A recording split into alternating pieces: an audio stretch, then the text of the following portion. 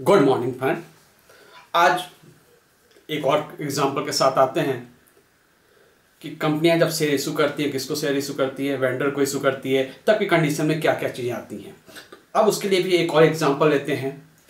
S limited purchase a running business from G limited for a sum rupees eighteen lakh payable by issue of equity share of rupees 100 each at a premium of rupees 20 per share.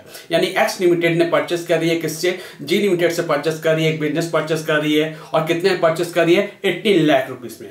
Payable क्या कर रही है? Issue दे रही है कितना? एक share की price कितना है? हंड्रेड रुपीज़ है और प्रीमियम उसके साथ कितना ले रही है कंपनी ट्वेंटी रुपीज़ के हिसाब से प्रीमियम दे रही है। The assets and liability considered of the following यानी कंपनी जो उसके लिए जो बिज़नेस परचेस करे, उससे क्या क्या ले रही है? एसेट्स एंड लाइबिलिटी ले रही है। और एसेट्स एंड लाइबिलिटी में क्या क्या चीज़ है? एसेट्स में देखते हैं क्या है? प्लांट है three lakh fifty thousand land six lakh stock four lakh fifty thousand and cater 1 lakh. Passes journal entry in the books of X Limited for the above transaction. यानी X Limited जो purchase कर रही है किससे purchase किया हुआ है business जी limited से। उसने क्या क्या परचेस किया हुआ है जी लिमिटेड से? प्लांट लिया हुआ है थ्री लैख फिफ्टी थाउज़ेंड का। लैंड है सिक्स लैख का। स्टॉक है फोर लैख फिफ्टी थाउज़ेंड का एंड कैटर है और लेकिन उसके अगेंस्ट में कंपनी दे कितना रही है? 18 लाख अगर कंपनी कम देती है तो, तो कैपिटल रिज़र्व की बारे में जैसे हम लोगों ने बात किया था अगर कंपनी अधिक दे रही है तो यहाँ पे क्या हो जाएगा? गुड भी आइए देखते हैं इसमें इंटी क्या होगी? जो इसकी पहली एंट्री आएगी, वो क्या आएगा? प्लांट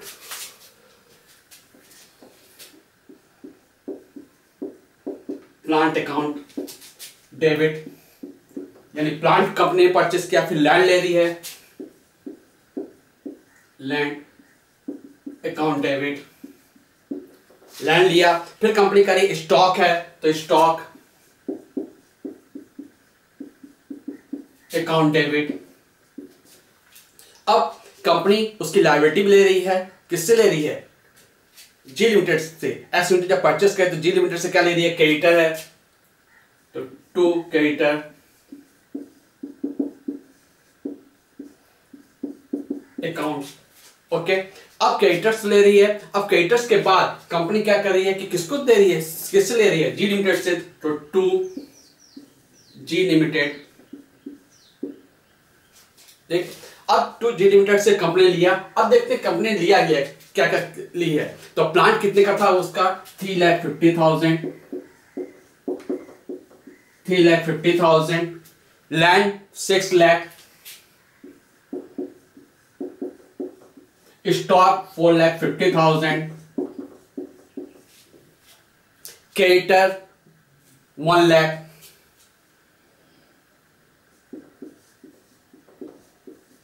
और कंपनी पेमेंट कितना कर रही है? कितने परचेस की है? एट्टीन लाख में। कंपनी ने क्या क्या लिया? थ्री लैख फिफ्टी थाउज़ेंड की कंपनी ने लिया हुआ प्लान लिया हुआ है। लैंड कितने का है? सिक्स लाख एंड स्टॉक कितने का? फोर लैख फिफ्टी थाउज़ेंड का। कैटर कितने का है? वन लैख का। और कितने परचेस करिए? एट्टीन लाख। अब हम देखते हैं कि इसमें अधिक दे रही है कि कम। अगर मोर देन अमाउंट पेड है डी अमाउंट से तो वहाँ तो गुड बिल अगर लेस देन अमाउंट है तभी कंडीशन वहाँ पे क्या होती है? कैपिटलिस्ट है। तो हमने यहाँ पे देखा कि पूरा इसको ऐड करने पे three lakh fifty thousand plus six lakh nine lakh fifty thousand nine lakh fifty thousand plus four lakh fifty thousand is to fourteen lakh यानी कंपनी ने जो एसेट लिया था वो कितना था? फोर्टीन लाख लेकिन इनका पूरा ऐड करने पे लाइबिलिटी वन लाख है। तो कंपनी को पेमेंट कितना करना चाहिए था? Fourteen lakh minus one lakh करना चाहिए तो कितना करना चाहिए था? थर्टीन लाख। लेकिन कंपनी कितना दे रही है? एट्टीन लाख। यानी यहाँ पे एक्स्ट्रा दे रही है कितना? फाइव लाख रुपीज़ एक्स्ट्रा है तो फाइव लाख यहाँ पे क्या हो जाएगा? Goodwill account goodwill account debit तो ये कितने से आ गया? फाइव लाख रुपीज़ से। तो नेशन क्या हो गया? Being the purchase of business being the purchase of business किससे परचेस कर रही है? Purchase of business purchase of business किससे परचेस की है? From G limited from G limited okay? यानी कंपनी ने जब भी एक बार फिर से देख लेते हैं क्या थी कि कंपनी ने एस लिमिटेड परचेस की हुई है, किससे बिज़नेस परचेस कर रही है, जी लिमिटेड से जब परचेस किया तो उसने क्या क्या परचेस किया उससे और कितने परचेस करे एटीन लाख रुपीज़ में। और जो उसने एसेट लिया हुआ है लाइबिलिटी लिया हुआ तो एसेट कितने का है? प्लांट है एसेट में लैंड है स्टॉक है। एंड लाइबिलिटी कितने का? क्रेडिटर्स है यहाँ पे। तो प्लांट कितने का था? थ्री लाख फिफ्टी थाउज़ेंड का था। Land six lakh stock four lakh fifty thousand and creditor था कितने का? वन लाख। यानी कंपनी को टोटल फोर्टीन लाख का एसेट लिया और लाइबिलिटी कितने के लिए थी? वन लाख का। अब कंपनी को पेमेंट कितना करना चाहिए था? थर्टीन लाख। लेकिन कंपनी पेमेंट कितना कर रही है? कितने का शेयर दे रही है उसको? एट्टीन लाख रुपीज़ का। तो अब एट्टीन लाख रुपीज़ का जब शेयर इशू कर रही है तो इसका मतलब एक्स्ट्रा अमाउंट पे कर रही है तो मोर देन ड्यू अमाउंट पे तो क्या हो जाती है वहाँ पे? गुडविल ओके तो नरेशन क्या हो गया? Being the purchase of the business from G limited अब इसके बाद हम देखते हैं कि कंपनी क्या कर रही है शेयर इशू कर रही है, किसको इशू कर रही है जी लिमिटेड को कर रही है और कितने में कर रही है? हंड्रेड रुपीज़ का एक शेयर है और ट्वेंटी रुपीज़ प्रीमियम है। इसके लिए क्या करना एंट्री होगी?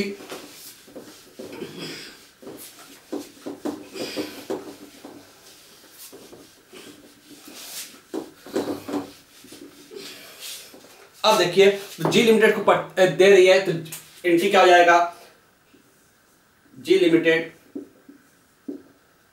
debit to equity share capital to equity share capital to securities premium reserve securities premium reserve. Okay अब देखिए जी लिमिटेड को देना कितना था इसको? 18 लाख रुपीस का। यानी कितने का शेयर देना है उसको? 18 लाख रुपीस तो अब यहाँ पे हम लोग को निकालना होगा फाइंड करना होगा कि number of equity share company कितना इशू कर रही है, उसके लिए क्या है परचेस कंसिडरेशन में कंपनी ने कितने का लिया हुआ है? 18 लाख रुपीस का है। और प्रीमियम कितने का है? इशू प्राइस क्या है? इशू प्राइस क्या हो जा रही है उसकी कंपनी के लिए? कंपनी के लिए इशू प्राइस क्या हो रही है? हंड्रेड का शेयर है और ट्वेंटी रुपीज़ प्रीमियम का। तो इसके कैलकुलेशन करते हैं, देखते हैं। यहाँ पे देखिए एट्टीन लाख है। हंड्रेड रुपीज़ का एक शेयर है और ट्वेंटी रुपीज़ प्रीमियम यानी hundred plus twenty equal to hundred twenty तो नंबर ऑफ़ शेयर कितना कंपनी दे रही है? Fifteen thousand share fifteen thousand share यानी कंपनी ने कितने शेयर इशू कर रही है? जी लिमिटेड को फिफ्टीन थाउज़ेंड तो जी लिमिटेड में तो एज इट इज़ जैसे जो अमाउंट पहले थी, वहाँ पे क्रेडिट था, वही अमाउंट यहाँ पे क्या हो गई? डेबिट अब इक्विटी शेयर में कितना आएगा? Fifteen thousand into into hundred share कितने का था? हंड्रेड रुपीज़ का। तो यहाँ पे कितना आ गया? फिफ्टीन लैख और प्रीमियम कितने की है ट्वेंटी रुपीज़ का। तो फिफ्टीन थाउज़ेंड इंटू ट्वेंटी कितने की हो गई यहाँ पे?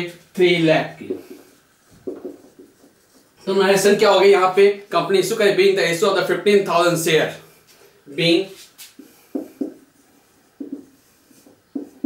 the issue of fifteen